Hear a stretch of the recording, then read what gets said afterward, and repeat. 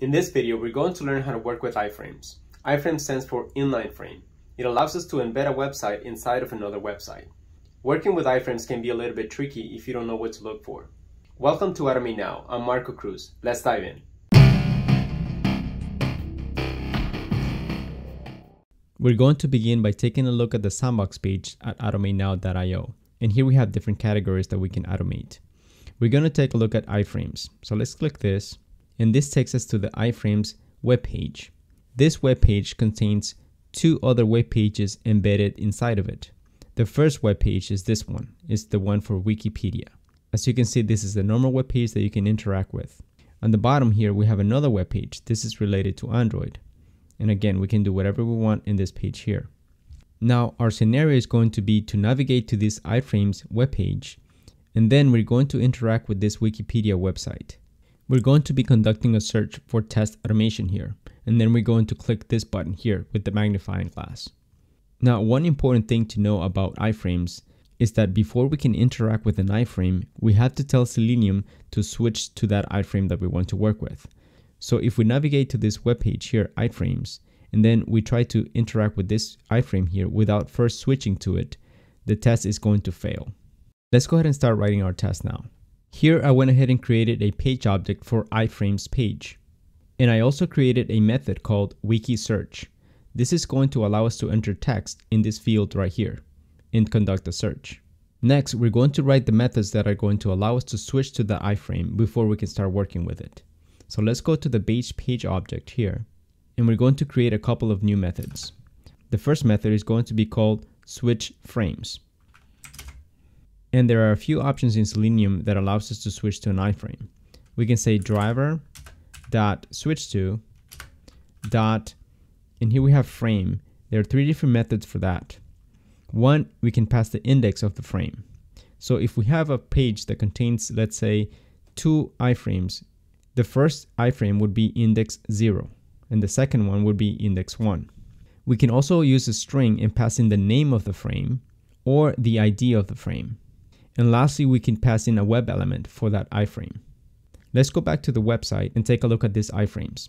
I'm going to right click on this one here since this is the one I want to work with and inspect it. Notice that here we can see that this is inside of an iframe. So this would be the first website. The second website is this one here, has another iframe. Each one of these contains an ID. So I could use this ID or I could use the index. So this would be index 0 and this one would be index 1. I'm going to keep it simple and just use the index. So in our case, we want the first iframe. So we're going to say index 0.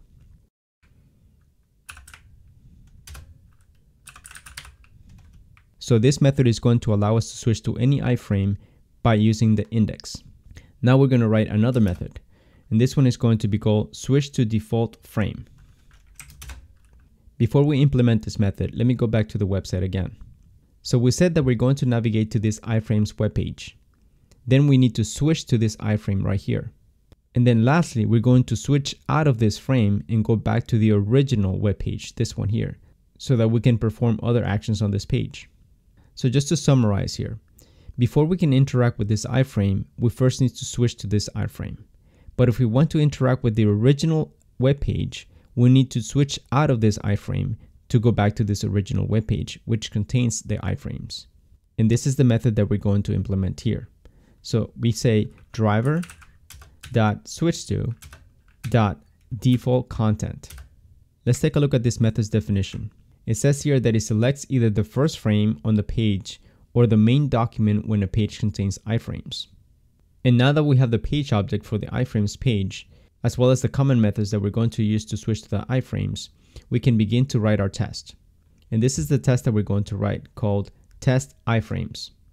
And the first thing that we're going to do is to click on that iframes button when we navigate to the sandbox page. And this method is simply going to click on the iframes button, this one right here. After we click this, we're going to land on this page here. And then we need to switch to this iframe for Wikipedia. So here we're going to say switch frames. Wikipedia is the first iframe, so we're going to pass in index 0. Then we're going to conduct a search. We're going to say iframes dot wiki search. And here we're just going to say test automation. All right, let's go ahead and run this test and see how it works. We're going to leave this breakpoint right here so we can see what happens.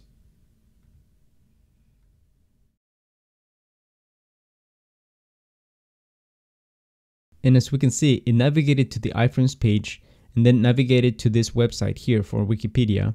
And then it entered this query right here, test automation, and it was successful. Now let's see what happens when we omit this step right here of switching to that iframe. So I'm going to comment this out right here, and I'm just going to run this test and see what happens.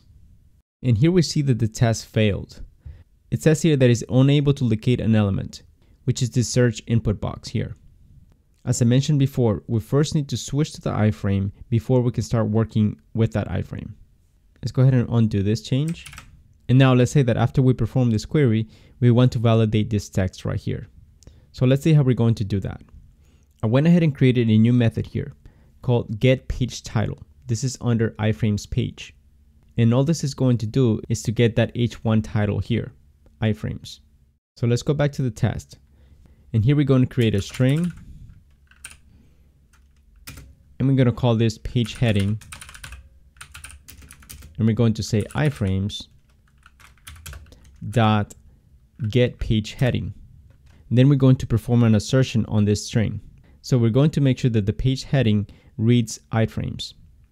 If it does not we're going to say that the page heading does not match.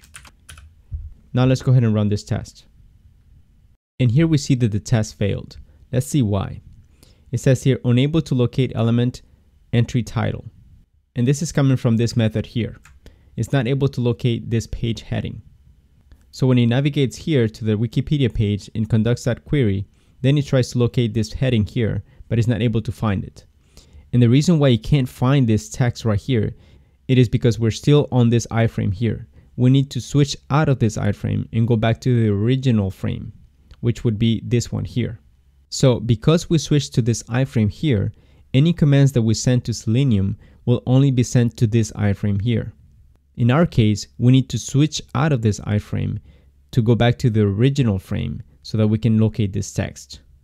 So let's go back to the test. After we look for this test automation on the Wikipedia page, we need to switch out of that Wikipedia iframe. And we're going to use the method that we wrote in the base page class, which was switch to default frame. Now let's run the test once again and this time our test was successful. I hope this video was clear enough for you. If you have any questions, please leave them in the comment section. See you in the next video.